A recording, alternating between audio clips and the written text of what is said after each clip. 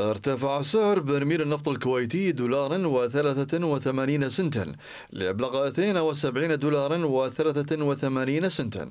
وفي الأسواق العالمية أغلقت العقود الآجلة لخام برنت على انخفاض قدره 59 سنتا لتبلغ عند التسوية 70 دولارا وسبعين سنتا. في حين تراجعت العقود الآجلة لخام غرب تكساس الوسيط الأمريكي 81 سنتا لتبلغ عند التسوية 86 دولارا وثمانية وعشرين سنتا للبرميل.